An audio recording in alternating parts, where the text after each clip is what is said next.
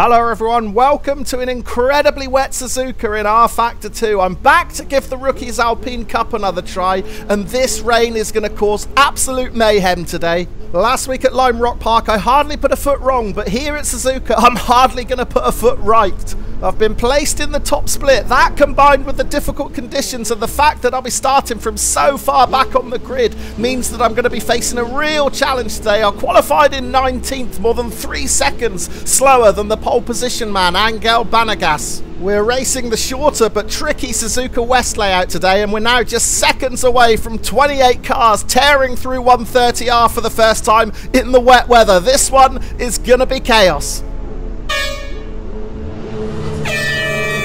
Oh, that early starter horn caught me out a bit. I was expecting there to be a bit more of a countdown like we got at Lime Rock Park last week, but no, not at Suzuka. One blast and we're underway. Fernando Garcia was certainly more awake than us on the start line. He wasted no time getting by. However, we were able to get around Herrick Savino in front of us, right into 130R for the first time. Oh, there is mayhem as predicted. Cars everywhere. Another one coming right across our path. We managed to lift at just the right time to avoid contact. It looks like several drivers behind weren't as lucky, but we got through it. We're up to 15th.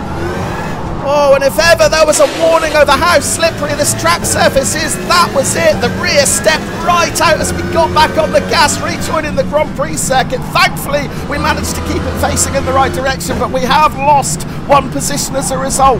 It was Andrea Segura who took full advantage. He's moved up to 15th position. We're down to 16th. However, we are right behind Segura now. Thankfully, we only lost a couple of tenths from that half spin. Into the hairpin for the first time. Segura apexes it really early. That means he's going to be wider on exit. That's going to allow us to pull alongside, but we're going to be on the outside into this tricky chicane section. We've just about got the pass done, but we're going to run it in a little bit too deep. We're out onto the grass, clip the gravel. We're all over the place. There's a car facing the wrong way on track. We're out in the dirt. We've lost a couple of places. I think we're going to lose one more because Savinho has got a lot more pace than us. He goes by on the outside. So let's at least take the defensive line into Spoon so we can try and stop Jasper Seibert from getting through as well. We've just about managed to do that. It looks like we've held Seibert off at least, but we're down to 17th. Well, I said that that half spin earlier in the lap was a warning sign. Unfortunately, I didn't heed the warning. I got it all wrong going into that chicane. I was trying to hang it out a little bit wider to get around Segura, clip the gravel, and I was all over the shop. Now we're going to come under attack again from Seibert into 130R. Is he going to tuck it up the inside? There's a little bit of contact. It pushes us out onto the curb. Oh, we've just about held onto the position. Now, is Seibert going to think about having another look up the inside? He isn't, but Alexandra Doro is. Where is Doro come from? He had a real late dive up the inside there. Doro out of nowhere. But thankfully, he wasn't able to make it stick. Well, it looked like complete carnage in my rearview mirror at the start of the race, so let's check out the replay. 130R, lap one, we're watching Francesco Gervasio lose all grip going into that high-speed corner. He's completely out of control, and then he gets ploughed into by several cars. Yes, it was chaos, and how lucky were we to get through that one unscathed.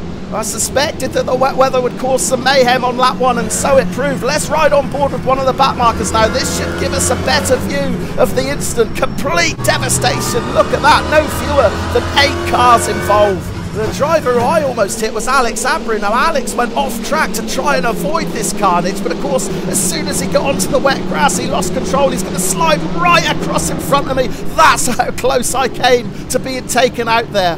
So that was my first warning. The second warning came straight after. I lose the rear as I get on the gas coming out of that corner. That allows Segura to get past. Later in the lap and just in front of us, Jose Carlos gets a nudge coming out of the chicane. That sent him into a spin and he wasn't the only one to get it wrong through there. I was trying to get around Segura, but I ran it in too deep. I clipped the gravel on the inside. That sends me to the outside and I lose several positions lap two, and I'm in a bit of danger of losing touch with Savinho here. He's opened up a 0.7 of a second advantage, but just as I say that, he gets a little bit sideways going under the bridge, so that has enabled us to close right back in. I don't think we've got enough extra speed to challenge, but we can put him under pressure and get right on his tail. We need to be defensive through the hairpin because I'm still getting harassed by Doro behind. But just as I was worried about this pack starting to spread out, we've closed right back in again. Watch Segura in 14th. He's running out a little bit wide into the chicane and he slides right across the path of Savino. We've been able to take two positions there. Yeah, that mistake I made on lap one trying to get around Segura. Well, Segura has just produced a carbon copy here. He clips exactly the same patch of grass. That sends him into a slide right in front of Savino, riding on board with Savino now. He's got nowhere to go. He has to lift to avoid the contact, and that lets me and Doro get through. Starting lap three now, and there's a fascinating battle developing right in front of us between Gregory Talot and Duarte Janiro. Janiro on the outside, Talot thinking about a move up the inside into 130R. Is he going to make it stick? No, he thinks better of it. Janiro gets a little bit sideways, though. He's out onto the curb. Is that going to give us an opportunity? No, it's not. Janiro defends. And while I'm concentrating on Janiro, Alexandra Doro attacks. Doro pounces. He makes a move up the inside to take 14th position. That sends us back down to 15th. I should have been more prepared for that. He tried it on the previous lap, and this time he made it stick, and he's going to try the same move into Degner on Janiro. There's a little bit of contact. Doro's not giving up, though. He's still got the inside line, and Janiro's lost it. Janiro spins out. Another driver span out in sympathy as well. That's given us two places. We're up to 30. Yeah, it was Luca Restaccio as the other driver who span out. Look at him on the edge through Degner there. He gets past up the inside. He's carrying too much speed and the rear steps out on the slippery surface. Then we saw Duarte Janiro make exactly the same mistake. He was being passed up the inside by Doro. He lost the rear too and he gets collected by a couple of other cars there. Yellow flags are out. Are we going to gain another position? There's a car on the grass on the infield, but it looks like a back marker. It is. It's Alex Abreu. We saw Abreu come to grief in 130R on lap one, so no position gained there. In fact, we may be under threat to lose a position because Juan Carlos is going to challenge. He's going to try and stick it up the inside into 130R. I don't think we're going to defend this one. We're going to have to let him go. He's far enough in front. And we know Carlos has got pace. He was one of the front runners. In fact, it was Carlos who spun out at the chicane shortly before I did on lap one. So we're starting the fourth lap now. I'm down to 14th, but it does look like the weather is improving. The rain has stopped, so I've been able to switch off the wipers and hopefully we'll start to feel a little bit more grip as this track dries out. And already we can see the pace of Carlos. He's opened up a 0.7 of a second gap. I'm not sure I'm going to be able to stick with him. I'm definitely not going to be able to stick with him now because I've lost the rear coming into that right-hander.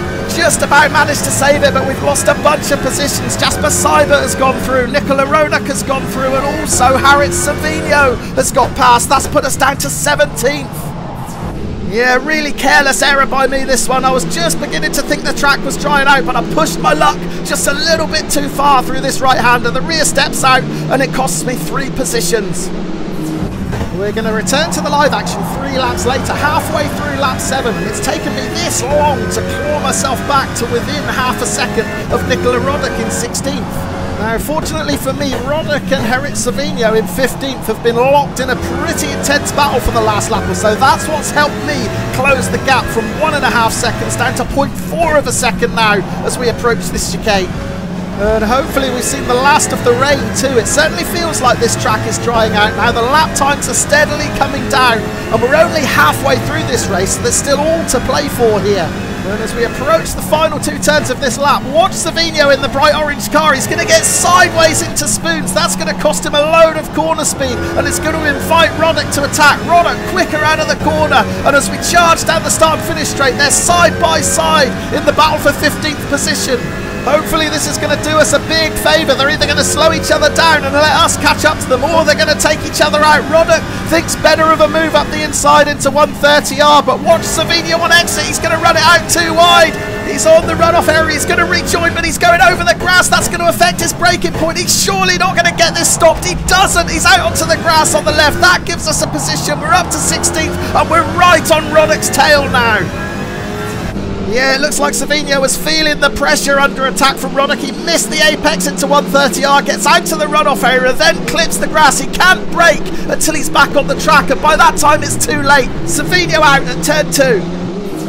Approaching the end of lap 10 now. We've already seen Nicola Roddick apply pressure through spoons. This time it's Jasper Seibert who's coming under attack, and it's almost an identical move. Seibert was just a little bit wide going through that final turn. It's opened up a gap on the inside. Roddick won't need a second invitation to try and make the pass. They're side by side going down the start finish straight. Roddick once again decides to tuck back in behind. This is exactly what happened a few laps ago with Savino. It's even a bright orange car that we're watching now. Is Seibert going to make the same mistake and run out wide through 130R? Ah, he is! Now is he going to be able to get it stopped into T2? Savino couldn't, but it looks like Seibert might just get it stopped. He has done. But that slowed down Roddick considerably, and that's brought me right back into play. There's now just 0.6 of a second separating the three of us. Four minutes of the race left, so there's still time. And it looks like Seibert is rattled. He's out onto the gravel again. Is he even going to make this right-hander? He just about keeps it on track. Roddick challenges, but Seibert is going to have the inside line for the hairpin. Meanwhile, I'm faster than the pair of them, but there's just no way through. I'm going to move to the outside. Maybe we can carry some extra speed around the wider line. No, we can't. Seibert is really quick on exit. They're still side by side approaching this chicane. And Seibert's running in too hot. Roddick's surely going to make the pass, but Roddick's gone out wide onto the grass. There's contact, and we get by the pair of them. Talk about being in the right place at the right time. We took full advantage of that contact. We haven't shaken Simon off yet. Simon's on the inside, coming into Spoons. Can we get this line sealed off? It looks like we have. We're up to 14th, but we run out too wide. We're on the curb. Simon's surely going to get back through, and so does Roddick. Oh, I'm my own worst enemy at times. I did so well to get past both these guys, and then at the very next corner, I can't quite get the apex. I leave a gap, and the pair of them jump right back through. We're back down to 16th where we were half a lap ago. But all is certainly not lost. As long as these two guys keep battling in front, we've still got a chance to get in the top 15. Roddick still all over the rear end of Seibert. Seibert's going to defend into turn two. Once again, we close right back in on the pair of them through this tight tricky section. We're back onto the GP circuit now, approaching Degner. Nicola Roddick looking really eager now to try and find a way past Jasper Seibert. Seibert's defending brilliantly though. There's no way through at the moment as we approach this right-hander to go under the bridge. Now it's the charge to the hairpin. And who says you can't have fun fighting for the minor positions? This is a fantastic race, and I'm not even in the top 15. I'm going to try and run it out wide around Roddick again. That doesn't work, but we're so close now. And we know from previous laps that absolutely anything can happen at this chicane. There's a little bit more of a gap between us this time, so I suspect the three of us will get through safely. That's a relief. So we've got two minutes left on the clock, approaching the end of lap 12. We're going to get two more laps after this one, so that's two more laps to try and force our way into the top 15. Oh, but we're just running it out a little bit wide once again into Spoons. We're out onto the curb, and that is going to cost us a valuable tenth or two. We've let it slip here. Oh, let's watch this again. This was the chicane on the previous lap. Roddick out onto the grass, runs into Seibert, and I make the opportunistic lunge up the inside to get past the pair of them. And at this point, all I need to do to make 14th position my own is to seal off the line into this left-hander, but I don't do it. I miss the apex. I run out onto the curb. Look at the gaping hole on the inside. Both of them jump through, and we're back down to 16th. Starting the final lap then, it looks like that mistake has cost us any hopes of a top 15 finish. We're now one and a half seconds behind Roddick in 15th. But look at Seibert once again. He's run wide through 130R. There might be a sniff of an opportunity for me if he can't get it stopped, but instead he tries to tuck it up the inside of Roddick. Roddick almost gets pushed out onto the grass. The gloves are off on the final lap here at Suzuka. But incredibly, we've been given a second chance at a possible top 15. We were one and a half seconds behind going into 130R, but that gap is now 0.3 of a second. We're going to swarm over the rear end of that orange Alpine. We've seen Seibert get rattled on a couple of occasions. He's made a few mistakes. Can we pressure him into another one coming into the hairpin? It doesn't look like we can. He's held the apex. So now maybe my next hope is that he makes an error into this chicane. Again, we've seen all sorts go on through this section, but it looks like we're going to get through smoothly. And I'm quickly running out of opportunities here. We've only got two more corners to go. The gap is almost 0.4 of a second now. We might not be close enough to challenge coming into Spoons. It looks like Roddick's got 14th position sewn up. That gap's a second now. And as I say that, Simon's out wide onto the curb. This is our last chance. We dive up the inside. Can we get ourselves in front of that orange car before we get on the straight? Yes, we have done. And now it's a drag race to the line. Simon's going to pick up some toe, but it's not enough. We cross the line to take 15th position. What a race! Well, I've got to feel a little bit of sympathy for Jasper Seibert here because he made exactly the same mistake that I've done on a couple of occasions through this final section. Runs out onto the curb. Once you get onto that green stuff, it's so difficult to turn it back in. Yeah, that was one of those races where I was almost disappointed to see it was the last lap. It was such great fun out there. I just wanted to carry on racing. Yes, the rain threw a spanner in the works, and yes, there were mistakes, lots of them, but that 20 minutes just flew by. In the end, we had to settle for 15th place, a slight increase to the Elo rating, which is good to see, and an even bigger increase to the safety rating, which I have to say I'm quite surprised about given the amount of times I was spinning or running off track.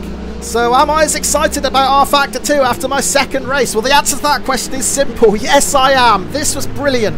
The car is so much fun to drive, the track was fantastic, made for some really good racing, and if you were impressed with this Suzuka layout, I'd urge you to check this RaceRoom video I did a few months ago. It was absolutely bonkers. But for now, it's farewell from Suzuka. Thank you ever so much for watching again, and I'll be back on the grid for another one very, very soon. Cheers for now.